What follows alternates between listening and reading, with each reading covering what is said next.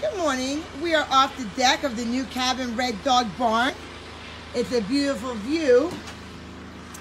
And the bison are making their way. It's a little dark in the shade here, but they're making their way from the hay feeder over to get their morning oats by the BC Corral. It's a little cold. Oh, he's looking up. You will have this view off your deck of the cabin we are renovating. Don't mind our wood. The hot tub will be right there. That's the view. And you will see the herd every day walking by. The herd ranges anywhere between usually 25 and 30 bison. And we are at the cabin that will be opening up hopefully by July. Red Dog Barn.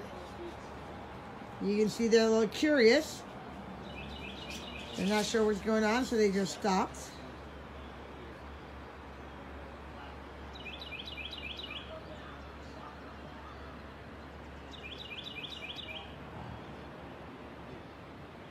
Oh, they're back on it, back on the trail.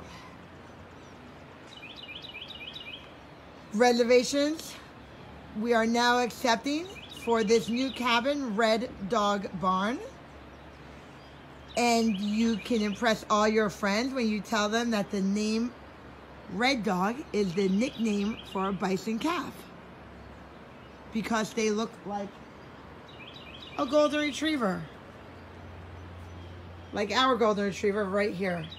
A little red dog. They weigh about 80 pounds at birth. We're just waiting for the rest of the herd.